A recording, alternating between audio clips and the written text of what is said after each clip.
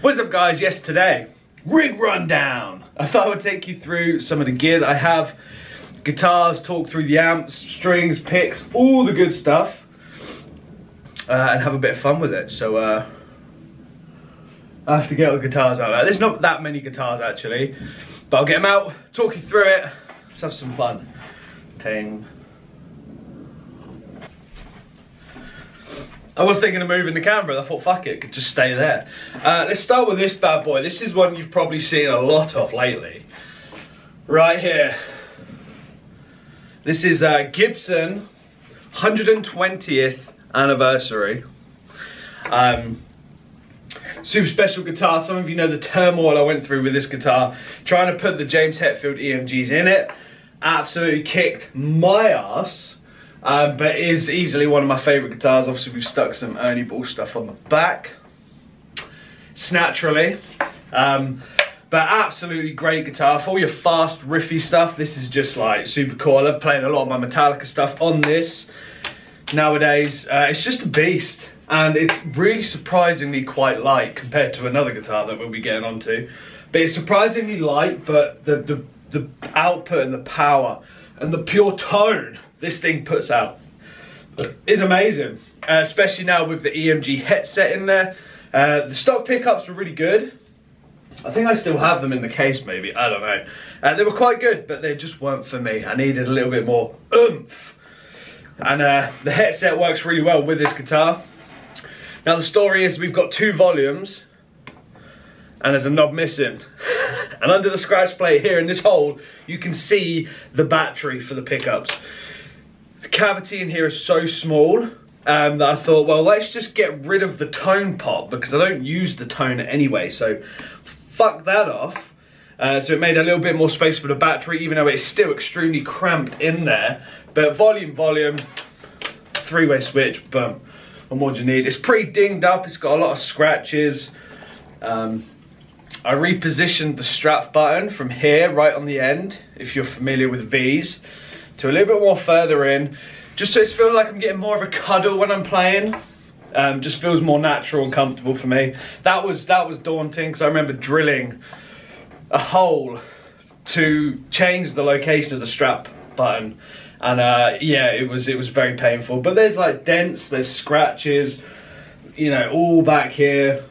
I think I stabbed a screwdriver into it once because why not? But it just gets absolutely battered and in a good way. And it sounds awesome. You've obviously heard it a lot in the covers and a lot of videos lately. Uh, Gibson, 120th anniversary, Flying V. V-Power, motherfuckers. So moving on to another guitar that uh, is very familiar, that came to me for a project. I was gifted it from a very good friend who at the time was working for Ernie Ball and helping me out with all my strings and all that stuff and uh, they gifted me a guitar for a project to kind of do it up and mod it. But the more I played it, the more I thought, this guitar just sounds awesome as it is. So I kind of never changed anything on it. And that is this. The Sterling by Music Man Axis. Um, I had an option between white or black. I went with white because I had a lot of black guitars at the time and white's just cool. So the plan was to just put new pickups in it and mod it, but it just sounds good as it is because I'm obviously so used to everything I have I think has EMGs in. so I was like, I kind of want something different, something with that kind of more passive vibe. And uh, it sounds really good. Five way switch, one, two, three, four, five, yep. Volume, volume. It's got a widdly widdly bar which is fun. Um, but overall, an absolutely amazing guitar. Um, and obviously, Ernie Ball sticker on the back. Uh, super cool. Uh, I think I've got a couple videos using this. Um, I'm going to put some new strings on it and probably bust it out again. But it's really good. It's really light, small. Um, feels good. Nice neck, not too chunky. Uh, definitely good for some of those bendy bendy leady stuff.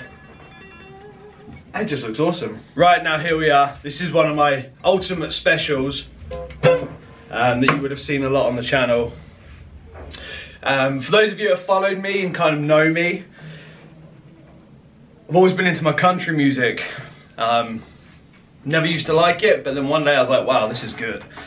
And uh, I always wanted a, an acoustic because I love playing acoustic guitar. It's just a different vibe. It takes you to a different place. And this is the uh, Sigma SG200J. So jumbo body, so it's nice, big, huge tone, really deep and rich. And it just speaks country music. If, if you've been following me, you've seen the stuff I've played on this. And uh, it's just great. Acoustic guitar takes me to a different place. You know, all the loud, heavy, riffy stuff is good. But sometimes it's good to slow it down, take it down a few levels. And just all you need is, is three chords and a cold beer. That's all you need.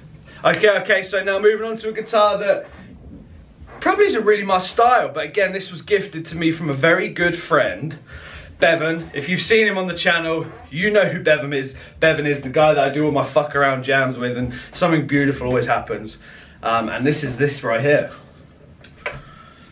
This is a Hofner contemporary series, whatever the fuck that means. Um, story of this guitar. Me and Bevan have been friends for God knows a very long time. Me going back to school days, and he had a band, and uh, I was kind of like his roadie. I'd bring his guitar on stage for him and help set up and all that cool stuff, do sound checks, and uh, this was one of the guitars. And uh, as of recently, he uh, he gifted it to me. And I'll be honest, it's a super thin body guitar. Very different, very big bodied. But mate, for some of that kind of like Gary Moore, David Gilmour kind of soloing, it's absolutely awesome. There's a few videos somewhere on the channel of me using this, but it's just great. It's super light, like you could throw this thing around. But very meaningful. Three-way switch, two volume, two tone, couple of F-holes, Really beautiful finish. Thing sounds awesome, honestly. Like it's just it's just stunning.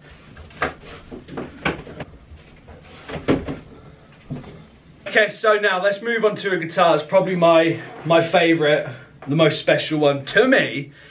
You can probably guess. Here it is. Here it is. Here it is. Here it is. Whoa! So, some of you are familiar with the story of this.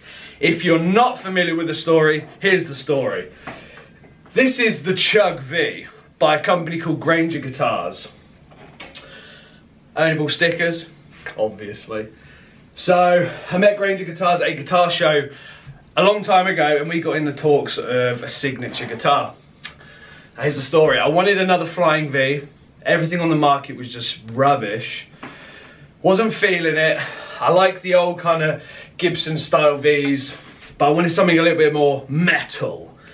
Uh, then I came up with this design.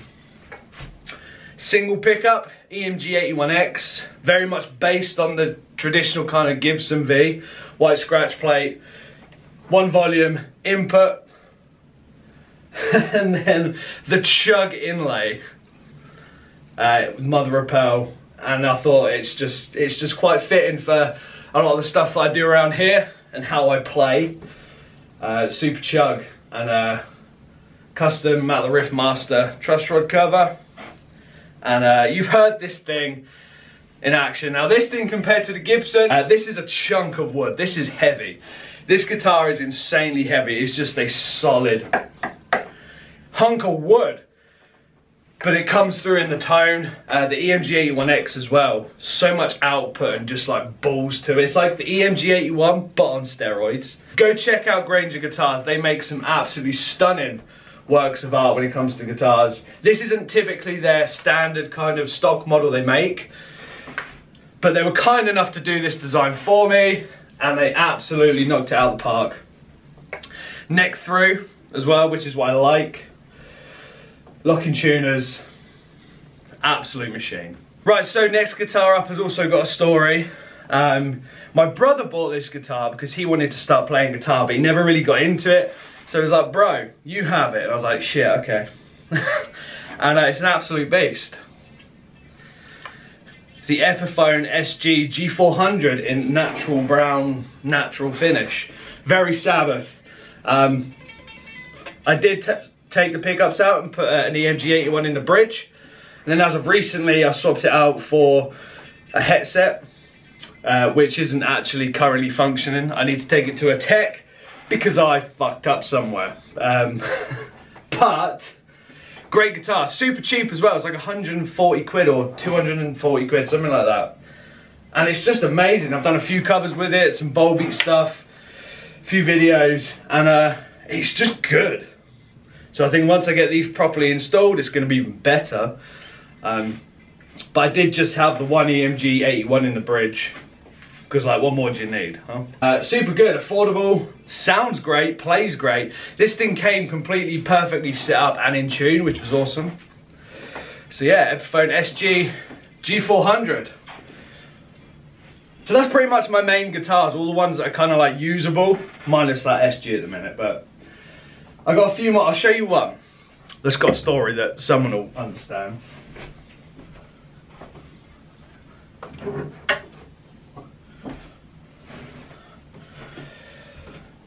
And there's this piece of shit.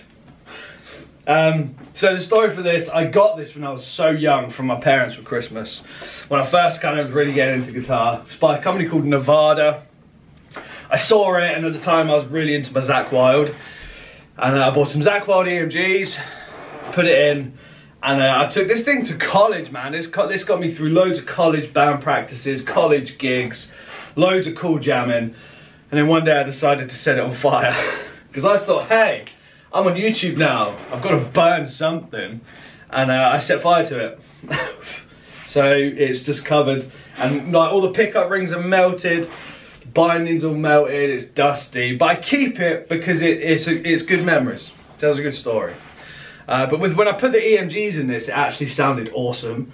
For like a cheap copy piece of shit, it sounded really good. So I think that'll probably do for the guitars. Um, you get the picture. So let's move on to amplification now.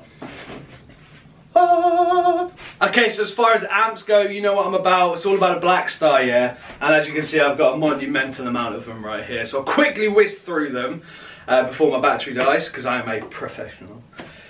So, down here at the bottom is the uh, the Blackstar Series 1 6L6 loaded 100 watt head. Absolutely stunning, stunning amp. This is the second one I've actually ever owned because I had one, sold it because I'm a dick. Then I needed it back. So I did get another one, and that's kind of like the main one that I use in, on the channel in the videos, because uh, it just delivers, man, and that's matched with the 2x12 Series 1 cabinet below it. Then sitting on top of that is the ID TVP, which is True Valve Power, um, amp which is was designed to be as loud as Valve. That was my first ever Blackstar amp, and I'll be honest, it's fucking awesome. I remember plugging into it, I hit one open E and I was like, that's it, that's the one. And from then on, my whole journey for amps has just been Blackstar, Blackstar, Blackstar. Uh, there's so much going on with the TVP. You've got different voicings like overdrives, crunch, super crunch, warm clean, bright clean. You've got different valve voicings like KT88, 6L6, EL34s, and it's just got built-in modular effects like your chorus, you, have got delays, you've got some reverbs, all the good stuff. So there's loads of it, loads in there to satisfy any guitar player's needs, whatever it is you play. Then on top of that is the Blackstar HT Metal 5 watt head with, with the snakeskin outline. Because I'm that fucking cool. I saw it in a guitar store and I was like, well, I've got to have it, surely. So I bought it, and I used that one for many years after I got rid of my first Series 1. I used the HT5 metal for a long time. I did have the 100 watt head version at one point, which is now in Derby, I believe. But the HT5, man, it's got plenty in there to kick you right in the groin. Um, super cool tone. Loads of my older covers um, I used with that 5 watts just pure doom. It's valve as well, so it was loud and just kicked it and was awesome. Really great. Little amp. So if I spin you around a little bit, this one here is the 10 year anniversary Series 1 Blackstar combo. Uh, it's 10 watt Series 1, so based on the Series 1 range. Uh, this was bought out for the 10 year anniversary of Blackstar, so it was a very special time, special occasion and I thought I've got to have one. Sounds awesome, great tones, great cleans, heavies, all the cool stuff, um, and it sits there and looks pretty. Covered in skulls and Ernie Ball. Shout out Blackstar. So that's pretty much all the amps. Um, but the, the Series 100 watt head is the one that gets mainly used more than anything. And I think as far as strings go, there's no there's no question. It's it's Ernie Ball. Um, they're everywhere. I've still got a pack of the Hetfield strings back there. But for me, it's always been Ernie Ball. Super happy to be an artist of Ernie Ball and to be part of the family. They've helped me out. They've hooked me up whenever I need strings to, to make noise. Um, so yeah, Ernie Ball, loads of different gauges, mainly the regular slinkies. You've got the power slinkies, beefy slinkies, the fucking, them ones, 10 to 52 paradigms, uh, all over the place. So, hashtag I play slinky, motherfuckers. And if you want to touch on guitar picks, uh, these are ones I'm currently using, the 1.14. Aha! Yeah, but the Ernie Ball 1.14s, they're solid, they've got enough give on it as well, so it's not like playing with a stone, um, but they feel good. Um, again, Ernie Ball, just built to perfection. It's a nice kind of grip to them as well, which is awesome. Wow, wow, wow, there we go. I think that's pretty much it. Um, pedals, I've only really got a, a tube screamer, that's about it. Really use pedals other than the tube screamer occasionally. Um, but yeah, those are all my guitars, well pretty much all of them. The functioning ones, the stories, the amps, for anybody that was curious or maybe no one gives a fuck. But okay. So guys, I hope you enjoyed it. Comment down below. Let me know. List your rig. What's your what's your like main guitars? What amps you use in picks? List them all below, and we can have like some gear chat with everyone and get involved. If you're new, hit the goddamn subscribe button. Okay? Thanks. As always, rock out, be awesome, and I'll see you in the next video. Whatever that may be. Uh, go check out the previous one too. Tough riff. Um, rock out, be awesome. See ya!